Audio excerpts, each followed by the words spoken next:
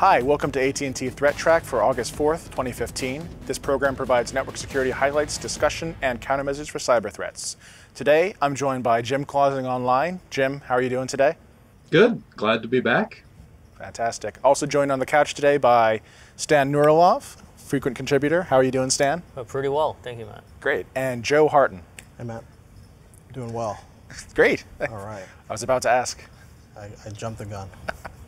All right, I'm Matt Keyser. Uh, let's jump right into our first story. Uh, just as just sort of an update on last week, the bind bug that was out last week, the CVE 2015-5477, has been seen in the wild. So if you haven't been paying attention, that's the bind bug that a single UDP packet with a, a T-key crafted res- request can crash the server. So if you're running bind and you haven't patched, now would definitely be a good time to do so. If you you don't have the option of patching, you can at least kind of keep an eye on your logs and see if these T-key requests are coming in. Uh, but at that point, it might be a little bit too late. Uh, I know we also have a, a, quick update from Jim on a WordPress vulnerability that's just been released. Care to talk about it, Jim? This just came out, I guess, this morning. Um, that um, there's an update to WordPress. 4.2.4 has been released. We've talked about other WordPress issues in the past. And this one, the uh, folks at WordPress.org are strongly encouraging you to update your sites immediately. Uh, there are six security issues uh, addressed in this one three cross site scripting, potential SQL injection, a couple other things. So, if you manage WordPress sites and you didn't get this update applied automatically, which several of my sites did get it applied automatically today, um, you need to go ahead and apply this one pretty quick. Uh, when when they tell you to update your site immediately, they you, you can expect that the exploits will be seen in the wild pretty soon. So, yeah, so it's a another WordPress update, and so if you uh, manage WordPress sites, apply the update. All right, thanks a lot, Jim. Moving on to our next story, Stan, you were going to talk a little bit about the Thunderstrike attacks, which are coming out uh, at Black Hat this week, which sound fascinating. Yeah, it's actually a pretty interesting story. well, we always say that PCs are more vulnerable. Oh, actually, we never say that. People always assume that Macs are more secure somehow. Uh, and one class of malware or one class of vulnerability that impacts the firmware on the various parts of the PC also can impact the Mac. So these researchers have basically discovered a way uh, to worm some of these firmware exploits so that you can take a simple device that's for like a Mac and then use that as a spreading mechanism. So let me take it a step back and get into the details. Is that taking a step back? I think it's you can both both ways. um, so basically these vulnerabilities, you know, have been well studied in uh, PC firmware, and just now these researchers are saying, well, hold on, Macs are also vulnerable, right? So what they did is they created this proof of concept code that takes the vulnerability and really showcases how it can be used. They actually have an interesting YouTube video that I suggest everybody watch just to be uh, the, shock, uh, the shock factor is amazing. So you can have a simple web exploit that infects a machine, um, and if you have a, a one of these Thunderbolt adapters uh, that are plugged in. For example, like a Gig uh, Ethernet adapter or like one of the VGA adapters that they have for the Macs. If that device has Option ROM, which is I guess a feature that a device can have, it, uh, the worm will detect that and then it will write itself to the firmware of that of that dongle basically. And whenever you plug that into another Mac, there's a way you can trigger the vulnerability again, and then it will just copy itself to the firmware of the Mac. So you can go walk around with this dongle and just plug it into all of these uh, Macs and just have the virus there. And the problem with these firmware viruses, just like in the PC world, is that they live so low in the system. No AV checks for them. Mm-hmm. You, there's no real protections against it. And once you're that low level in the system, you can really be just writing your malware all the time to disk. So you can really persist. And reimaging your hard drive isn't going to help because the, the malware that lives in the firmware is going to always be detecting that's you know if it's present or not and then just putting itself back on there you can change the hard drive you can reimage it it's not going to help you really have to uh, kind of like reflash the bios almost and doing that is not i guess a simple feat uh, so would it would it be on the charger cable? So I'm thinking of I was in the airport last week. If if say a charger cable at one of those public charging stations got this malware, would that infect anybody who charged at that? I guess if it had this option ROM uh, Okay. capability, uh, then potentially, yeah, 'Cause there's that's a kind of a scary thought, right? That is very scary, and actually, that was I think on an episode of CSI Cyber. Wasn't It- it? I think it was, yeah. So it was possible there, and it sounds like something like in a movie, and Yeah. I think this kind of exploit actually makes it possible. Well, I think the attack is, is, as I understand it, primarily against Mac devices, Yes. Mac laptops, PCs. I don't know why you'd be using a charging cable. In, I think in a, an airport, you'd only be, you know what I mean? You you typically charge a mobile device in that situation. Right, right. you right. But it's it's not impossible that someone, and I think during the demo video, they actually use um, a modified. Um, it looks like a Ethernet to uh, Thunderbolt connector. Yeah, and, and they're using so. that chip inside of there. So any any peripherals, like if you show up, I think it was kind of funny. I was looking at Trammell Hudson's Twitter. Trammell Hudson, uh, Xeno Kovah, Corey Kallenberg are the people behind the research. Yeah. And Trammell Hudson's Twitter has a, a I think it's a bit of a joke saying, if anybody wants to use any, you know, anyone needs any Thunderbolt dongles while we're at Black Hat, Yeah. just see me. And everyone's like, not doing that. No, sir. yeah, it's it's pretty cool research. I think the video shows that they're chaining a couple exploits. Um, looked like one of the ones. There was one recently where if you, you know, put your laptop to sleep and open it back up, certain protection bits Yeah. are no longer in place. I think that's part of the the, the demo that they're doing. So there's a lot of really cool stuff in there.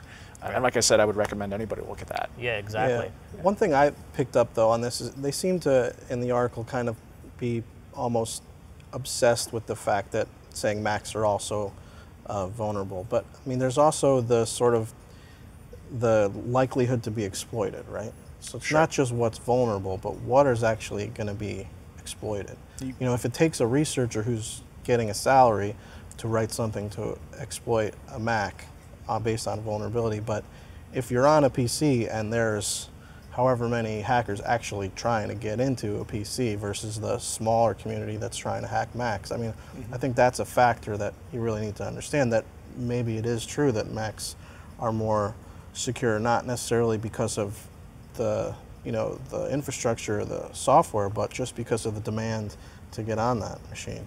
That's you a fair point, but at the same time, I guess these days there's a lot of nation state sponsored adversaries who Right. are doing similar type of research, and usually they don't talk about these findings of Black Hat, I would imagine. Right. So but the I mean, research there's is still a important. community of people who just don't like PC users or don't like PCs or find it there's more people on PCs, it's easier to get to more users mm-hmm. by having a PC exploit. Sure. So- There's for the people who are, who are hacking for a profit. There's definitely like a risk reward. Yeah. Do I spend all the time on the Mac platform, or do I go where the users are? Right, I, I think I know what you mean. And Macs are, I think, gaining more popularity. But there's also the, I think from a, a security practitioner side, people are a little bit tired of saying, "Well, I use a Mac, Right. So I don't have to worry about any of that I hear stuff." you, but- And this is sort of maybe sticking it to those people who say that, but it's also some very interesting and in-depth research. It's not just something you you know flippantly say, "Well, I found something for the Mac." It's I spent half a year and now I've definitely got something to be worried about. Right. But it's like, do you have the same security system on a bank in New York City that you would have in, you know, the middle of nowhere in Iowa? If there's a lot more demand in the more populated area, then maybe the security system you need where there's less people looking to get in isn't the same. Sure. So, I, I can see that.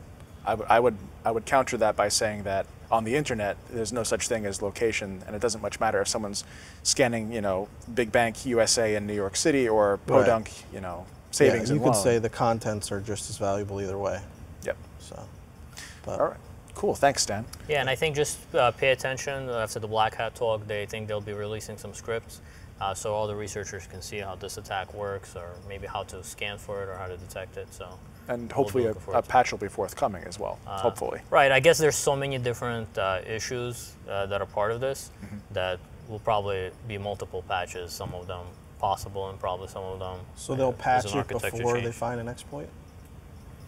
The ones that have been found can be patched, and hopefully there'll be a little more attention paid All right, to. but there isn't an exploit yet. It's just the, the research, right? Well, they, they've, the video they showed is a soup to nuts exploit of, of Oh, right. installing a malicious firmware on a Mac, But it's not in the wild yet. as far as we know. Yeah. Yep. we'll hope not. Yeah, not. that's the danger, right? Okay, Cool. thanks, Stan. Joe, heading over to you, looks like you've got a story about some interesting security features Google is hoping to implement. Yeah, so Google put out a blog post recently, and a bunch of the you know tech news sites picked up stories on it that they're going to allow bring your own key encryption on their cloud infrastructure, uh, the Google Compute Engine. It's still in beta in the U.S. and a handful of other countries, but basically they're they're saying Google's not going to retain any of your application data because you're going to provide your own key. They'll only hold the key while it's transient. So you know they're they're sort of touting this as no one here has your data. If we get someone gets into our side of things, they're not going to be able to access your data, which is interesting. You know, this isn't the only cloud that offers this, but Google's is being a lot more sort of raw about it. They're they're not just offering. Some of the other clouds offer just a, a key management system, or they don't let you bring your own encryption all the way down to the compute node engine, so the you know like the VM level. Some of the criticisms are that you know Gmail and Google Docs still they still do the encryption there, so they hold all the data on that end. But I just thought it was interesting to see this sort of bring your own encryption concept, and you know to think about how that could apply in other areas. You know, with uh, clouds being public clouds in particular being real popular, the the threat of lack of security is really out there, and to you know I think bring your own encryption is kind of a, a little bit out of the box way of, of looking at it. You know, I was wondering if if maybe at the web service level, if you could do the same kind of thing. Could you do bring your own encryption on Gmail? Could you do bring your own encryption on document store on well like a Dropbox? Hmm. You know, it, it, puts the onus on the user a little bit more than the infrastructure. So, what you guys? With email, you have a chance there with maybe PGP. To encrypt the email, and then you you know you send out the email encrypted so that the contents of the email that are stored on Google server are already encrypted. All they ever see is that encrypted communication. And then I think with some of the file storage uh, things is that there's companies like Voltage, for example, right. that allow you to actually encrypt the file and then upload it, and then the other person has to have to do the encryption key. So, so if you yeah. you would hold the private key and then you would publish the public key. The public key yeah. would be one way to do it, or with some of these like documents, it's almost like you you know I think some people actually do this is like they zip protect the file, so they uh, put a, a, file inside of a zip file and then they put a password on it. So it's not really strong encryption, right. but I think have, some people have figured out a way to kind of like protect the data that way, although that's not cryptographically secure. Right. Hmm. I suspect this is going to have some sort of impact on, on at least law enforcement. There's, there's the right, ongoing debate. There is which sort yeah. of a responsibility for investigation, but like, like I said, it sort of shifts the onus that law enforcement will either have to come get the key from the application owner rather than the cloud owner, or they'd have to find a way to get in the middle without the key, which yeah, I'm, I'm wondering how, how different it is if, for if you were just to go out and find a VPS somewhere and start using your own keys, how different it is from what they're proposing here. Maybe I just haven't quite got the, the gist of it, but no, that is interesting. Yeah, and another issue with it that came up when I was discussing it with some of the guys here is that it probably puts a little more risk of insider threat. Okay. Because if, if I'm publishing my application and my company owns the key, now if somebody on, in my you know, inside my organization tries some sort of ransom scheme, it's not held by the cloud provider, right? So that's another sort of byproduct, I guess. Hmm. I have to think more about that. All right, thanks, Joe. Cool. All right, next story is mine. This one comes from uh, Krebs on Security and is actually partway by uh, virtue of research done by RSA, which they've just released at Black Hat apparently there is a VPN service uh, in China. Apparently it's not a, exactly a legitimate VPN service. It's comprised of about 1,500 endpoints, most of which are hacked computers. So uh, there's a very interesting white paper on this. They're calling it the Terracotta VPN service. And it looks like they're scanning on port 135 to find vulnerable machines, popping them, installing certain things, you know, disabling antivirus and other security protections, and then setting up uh, a VPN endpoint and then reselling it. And it's interesting, all these the various endpoints are all connecting to the same uh, radius server for authentication. So it behaves as if it's a regular, you know, VPN service. You go to your VPN server, you log in, and then it checks to see if you've paid for the service with this, you know, what other company it is. And apparently, there's several companies that are representing and uh, serving as the front end for this one massive VPN network. So this is kind of it's kind of neat in a, in one of those sort of neat but hmm, not so great ways. Right. Turns out that there's evidence that at least one APT group, Shell Crew, otherwise known as Deep Panda, has been using this service. And like I said, it's being sold as a legitimate VPN service to people. So some people are using it to bypass the Great Firewall or other sorts of censorship protections. Most of the users are within China, um, and they may not even be aware of how the VPN network was built. They may just be using it as, you know, okay, I've got a place I can log into, and I've been told it's going to be secure. You know, what could, what could possibly go wrong? So I think this is a pretty interesting story of someone trying to build basically a criminal enterprise off of the back of a whole bunch of hacked devices and computers. Some of the victim uh, verticals are listed, but not the actual victims. So you can get an idea of what kinds of companies are involved, as it's including Fortune 500 companies. Oh, wow. So I mean, it, it, it could be that any anyone could have one of these servers. Luckily, there's indicators in the article, so if you want to try and look for these callouts that the, the, the VPN server is making, you should be able to identify them fairly quickly. They talk about the distribution of where these nodes are. Are they all over the place, or maybe just in China? Or? I, am not sure. I don't think I saw those in the article, but um, they did have stats that were pretty detailed on the distribution of where the users are coming from. So that's an interesting read as well. Okay, great. Moving on, we have a, a segment with you, Stan. We're calling it "By the Numbers." So let's uh, let's hear some numbers. uh, yes, this is a new segment we're trying. So some interesting statistics. Um, did you guys know that if you leave your machine unprotected, it could take just a few minutes or seconds for it to get scanned uh, by anybody, really. And if you have one of these popular services like SSH, uh, Port 80, Web, or Telnet, and this is actually something we always report in the weather report, right? Mm-hmm. So if you combine that with some sort of a weak password for authentication, you can actually get inside of that machine, depending on uh, where in the list that is, in just under an hour, actually. Hmm. So just some interesting statistics that we gathered up. You know, if you leave your machine out there with a weak password and a default port 22, and then of course no other protections like uh, user account lockout. So you're saying just under an hour. No firewall, no. No firewall, just wide open, and no, you know, very weak password. It could be compromised within an hour. Wow we've seen instances of that. The Internet Storm Center used to have a, a statistic that we kept on how long it would take a, a, machine once it was placed on the internet before it got scanned, and we've seen any number of cases recently where folks with weak passwords left on SSH servers were popped in, you know, in one instance, I think it took them 93 seconds leaving default passwords, leaving easy passwords is a bad thing. And there, are, you know, we've we've talked in the past a couple of ways you can protect yourself. For the example, SSH. One of the things that some people suggest is moving it off of port 22, and that works to a point. But you know, the bad guys are scanning not just for port 22, but for other ports, knowing that people move SSH off. In fact, uh, Johannes Ulrich just posted something over at the Internet Storm Center today on, you know, putting your SSH server on port 8080 isn't necessarily going to hide it. He's now seen evidence um, in some of our logs of of folks scanning for SSH on port 8080. Hmm.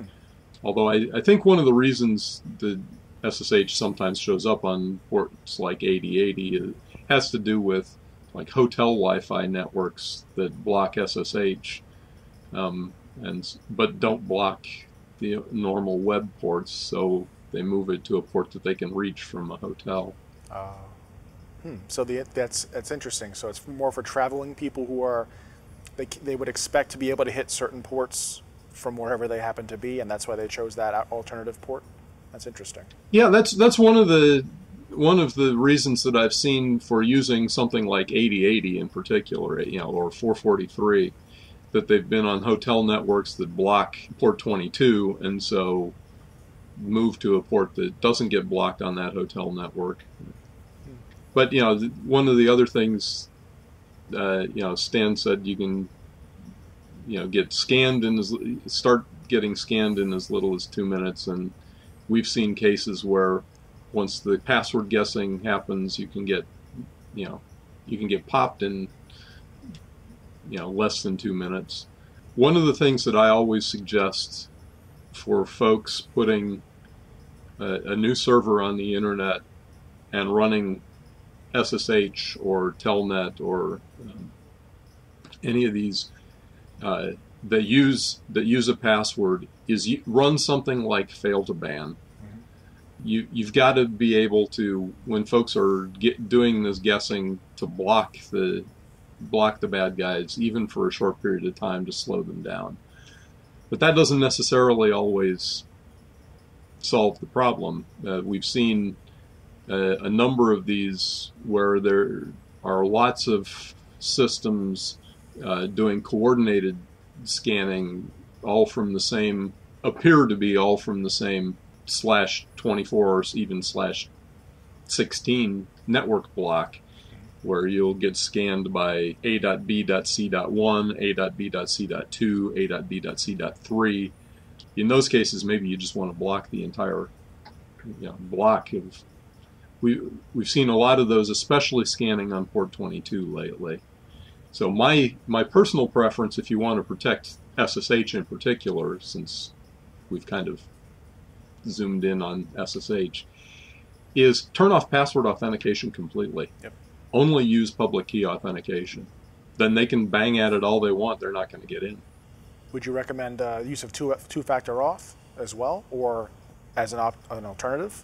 Two factor authentication is a little harder to set up. Um, but that that also is works just fine if you can do that.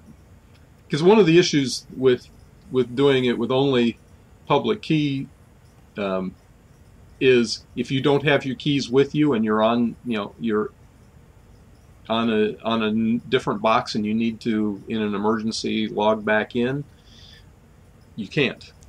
But you know I've I've set up SSH on my home system to only allow public key authentication and then I run Kippo on port 22 and I put the the actual SSH on a different port I just let them bang away and I collect collect the passwords they're guessing All right, thanks, Jim. Actually, you're up next. There was an interesting article over on Graham Cluley's blog that you wanted to uh, talk about, having to do with password guessing.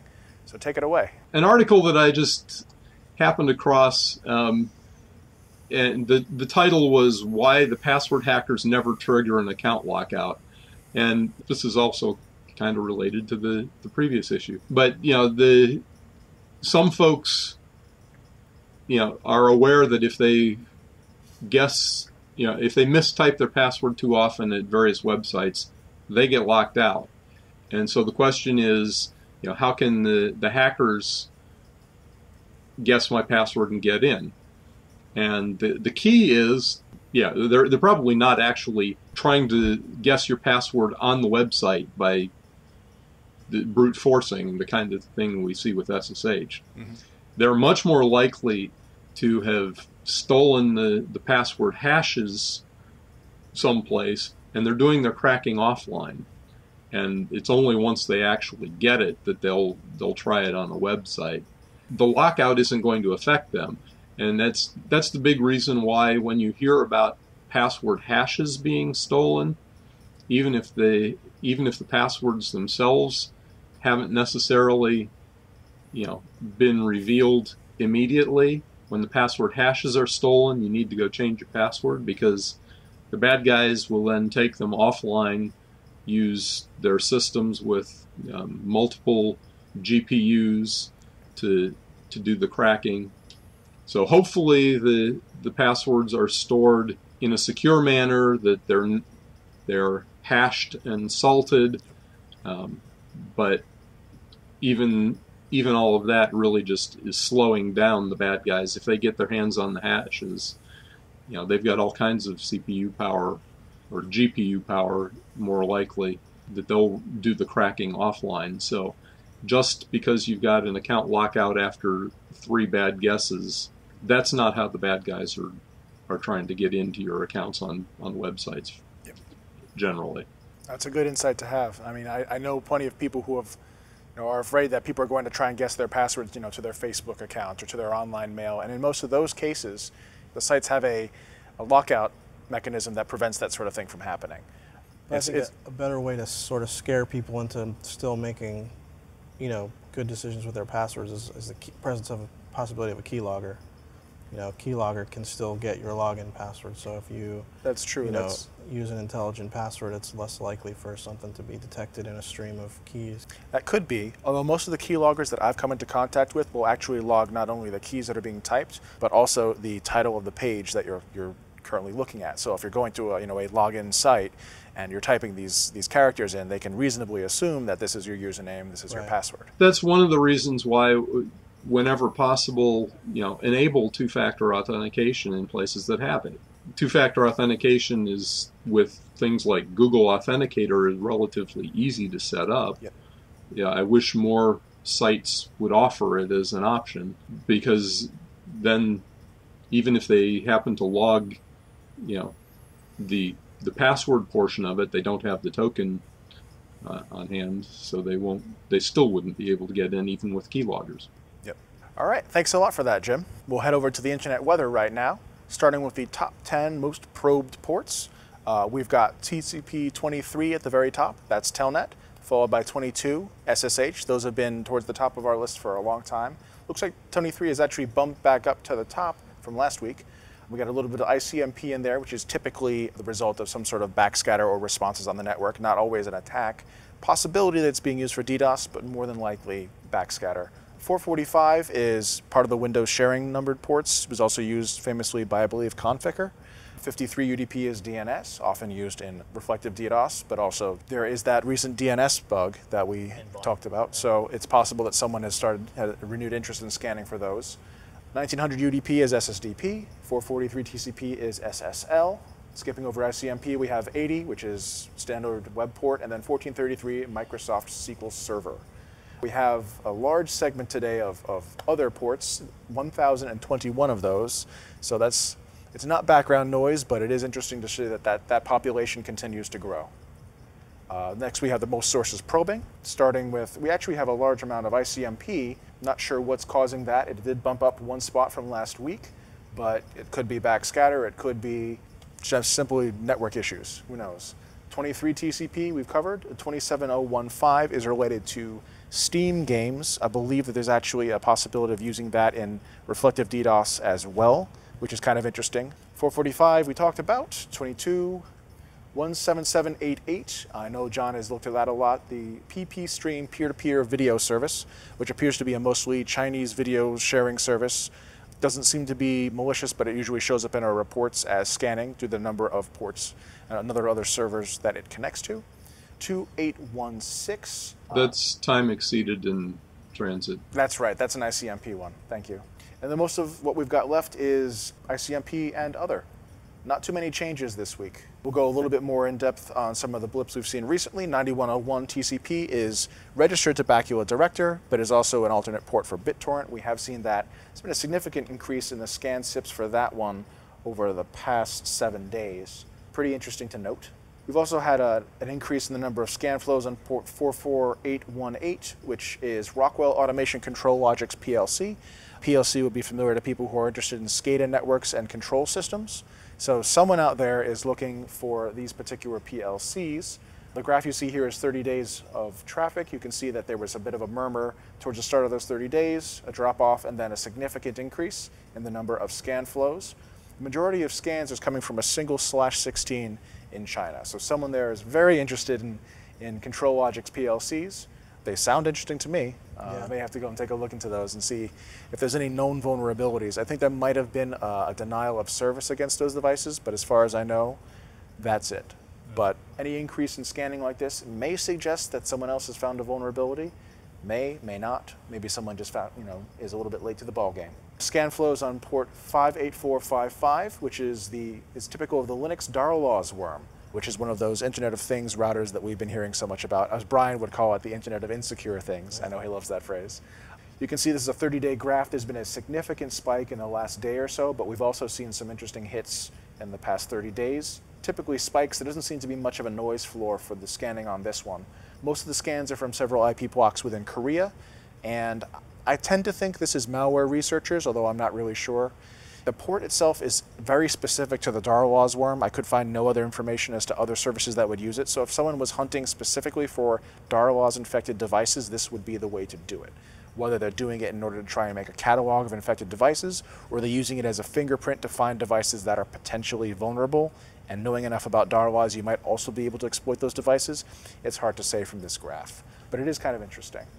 It is interesting that the pattern here is not periodic like we normally see, or it's not even consistent, which makes me think potentially it is more related to research activity, like a researcher coming in and hitting the scan button. Mm-hmm. And trying to find out what they can find. So that's the show for today. Thank you for joining us. Uh, if you'd like to get a hold of us, you can email us at attthreattraq at list.att.com.